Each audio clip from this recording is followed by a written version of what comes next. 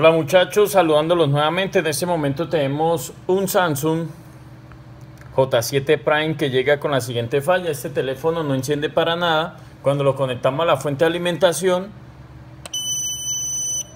consume entre 4 a 5 miliamperes, algo tan bajo que muy probablemente si usted tiene una fuente de tres dígitos no va a lograr apreciar este, diferencia en el consumo. Para usted será un teléfono que no consume.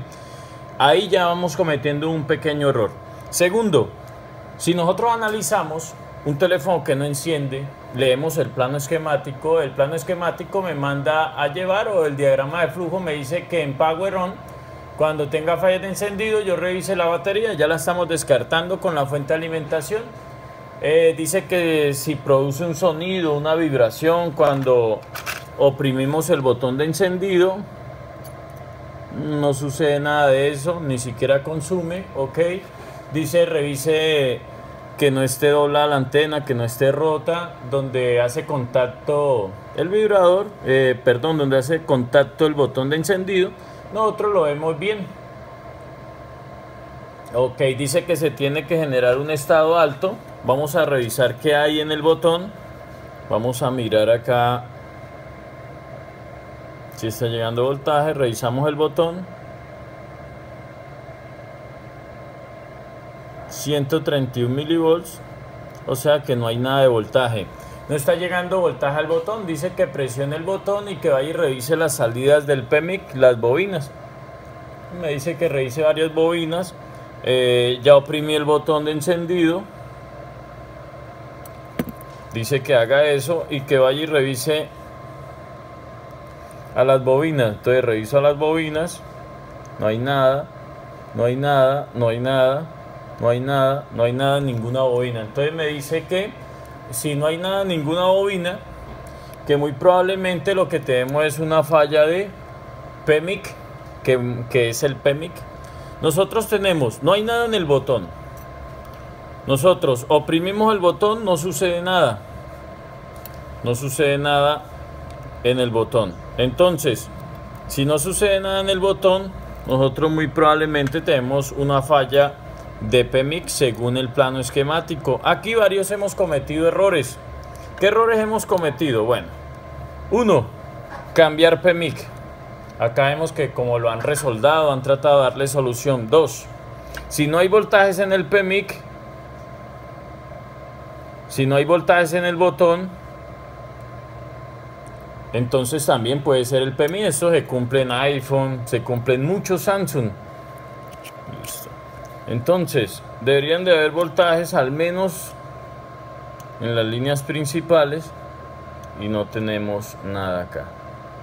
Ok, muchachos. Entonces el plano me manda que si no tengo voltajes cambia el, el al PMIC al U5002 y que si no hay frecuencia de 24 MHz en el oscilador 5000 que cambia el oscilador. Si no tengo voltaje iniciales, menos voy a tener voltajes en el oscilador. Lo que tengo que hacer es lo siguiente. Quiero que ustedes puedan solucionar esta cantidad de celulares que hay con la misma falla y que manejan al mismo circuito. Ustedes lo que van a hacer es que van a venir a la entrada del IFP MIC. Van a venir aquí a la entrada del IFP MIC y van a revisar si está entrando el voltaje. Revisan acá si entra voltaje. Perfecto, el voltaje está entrando. Ahora van a analizar si está saliendo. No sale nada de voltaje. Como no sale nada de voltaje, por ese motivo, por esa razón, no hay voltajes en el botón. Este circuito, a pesar de ser el IFPMI, que poca información hay en el plan, que solo dice que maneja la carga, el flash y algunas comunicaciones, nunca nos dicen que es el que genera eh, el voltaje para que alimente al PMIC. Por lo general todos los Samsung definitivamente que tengamos una falla similar puede ser PMIC. Pero este hace algo similar como en los iPhone, que el voltaje principal no nace del PMIC, sino que nace de un transistor, en este caso nace del IFPMIC. Conclusión, cuando el IFPMIC da fallos, puede ser el que nos deje muerto el teléfono, está muerto, no lo reconoce el computador, no lo reconoce para hacerle software, no carga. totalmente muerto. No hay consumo excesivo, es tan bajo, le oprimo el botón, no hay nada, cámara térmica no va a servir, no va a servir método SIG, no hay nada en corto. Porque muy probablemente diríamos que vamos a encontrar cortos. Entonces así podríamos llegar a la falla. Ya revisé alrededor del PMI, no hay ni un corto.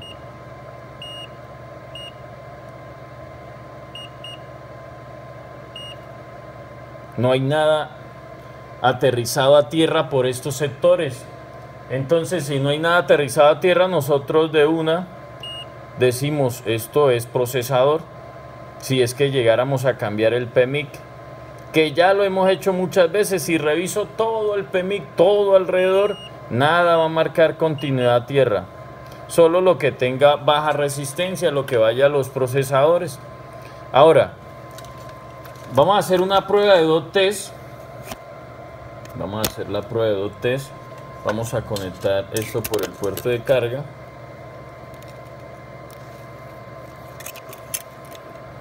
por el puerto de carga y vamos a conectarlo a 5 volts 5 volts y le vamos a conectar 100 miliamperes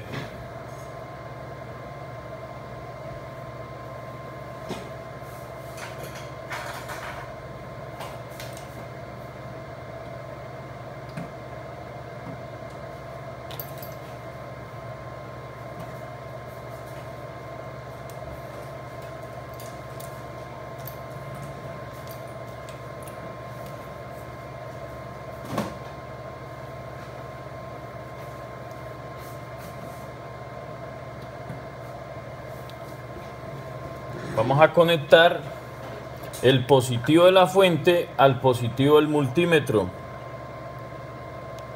Vamos a conectar el negativo de la fuente al positivo del dot test. El negativo de la fuente al positivo del dot test.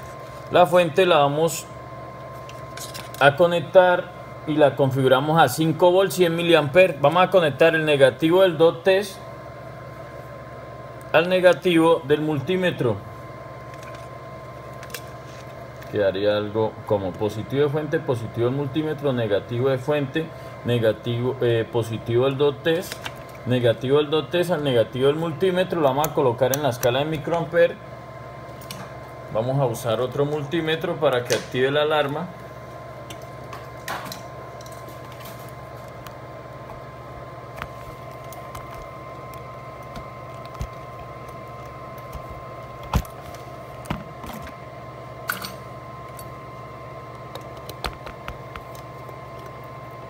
Un caso muy bueno que no quise dejar ir sin poder este, mostrarles a ustedes. Listo.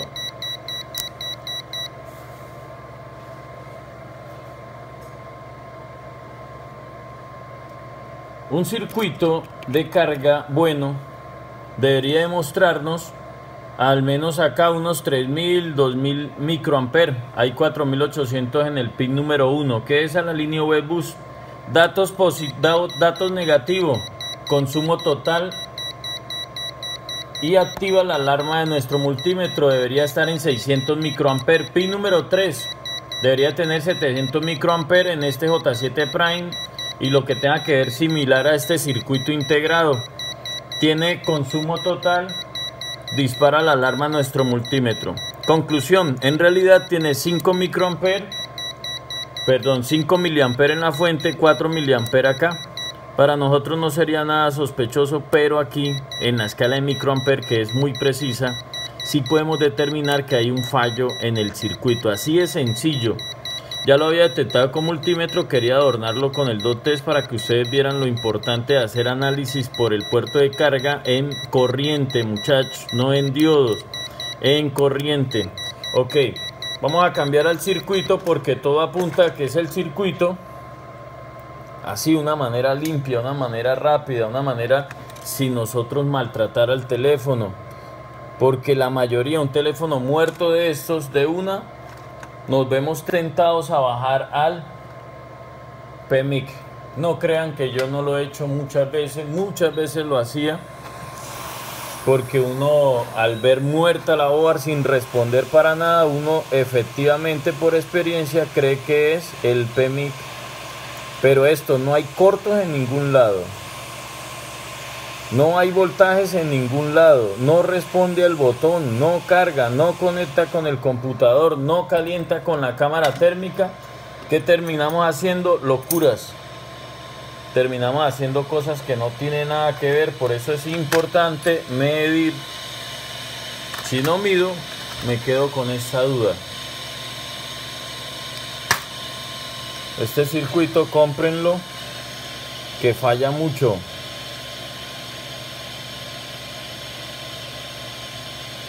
Que a veces deja encender al teléfono y es más fácil comprenderlo, pero en algunas ocasiones como en esta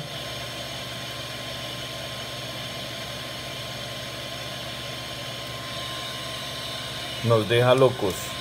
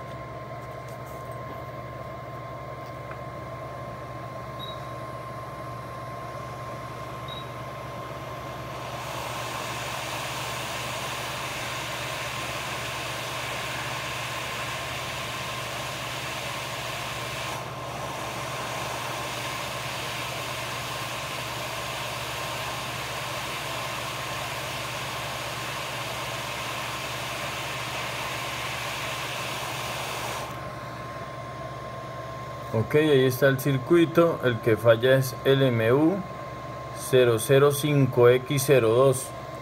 Es el circuito que falla en estos casos. Ok.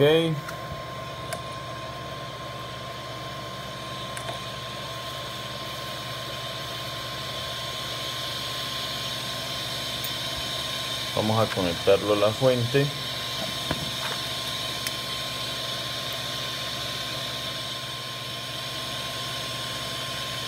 Ahí vemos que ya no hay consumo. Ese consumo es algo sencillo que aparece ahí como en la fuente. O sea que no tenemos consumo correcto. Ahora vamos a ver qué voltaje tenemos. Bueno salgamos de una de la configuración del dot vamos a ver qué valores tiene el dot test ya que tenemos las todo configurado para medirlo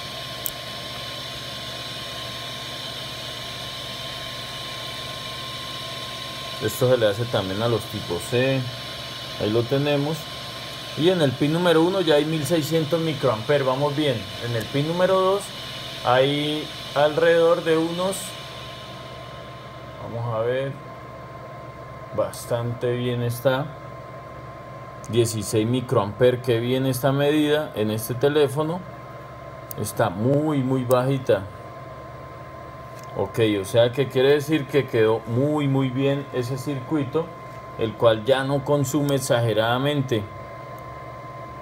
Solo tenemos 7 microamperes, 14 microamperes y tenemos mil y algo en esta. Ok, dependiendo el estado del circuito nos van a dar valores diferentes, pero en este caso nos da unos valores muy muy aceptables, muy buenos. No dispara la alerta de nuestro multímetro. Recuerde que en cada teléfono nos va a dar un valor a veces diferente, pero que acá ya hicimos una prueba y ha pasado la prueba. Ahora vamos a mirar qué hace. Ah, ok. Tengo que desconectarlo, creo. Porque lo tengo conectado a la fuente y creo que nos va a cambiar los valores. Sí, correcto ya está aquí tomando valores incorrectos. Como estaba conectado la fuente nos engañó. Ahora sí, primer pin 2500, mm, llegó hasta 2500, va bien. Segundo pin 600, bien, 600 microamperes. Tercer pin 700 microamperes. Ok muchachos, o sea que está correcto. Nos está tomando las lecturas correctas. Bien, ahora vamos a ver si este teléfono tiene voltaje en el botón porque ahorita no tenía. Cuando vengo y analizo si tiene voltajes en el botón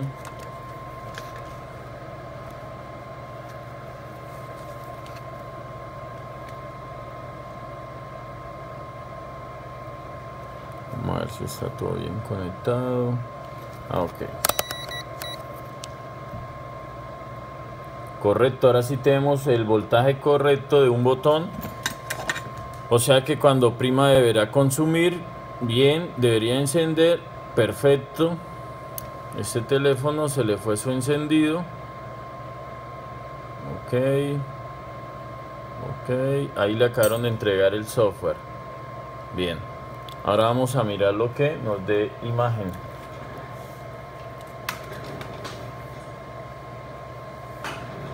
Para mí ya encendió, pero quizás hay compañeros que nos siguen, que están empezando y ellos todavía no entienden bien lo de la fuente. Para los compañeros que saben, ya el teléfono sí encendió solo mirando a la fuente. Pero acá para los compañeros que nos siguen en el canal, que todavía no comprenden bien los consumos de las fuentes.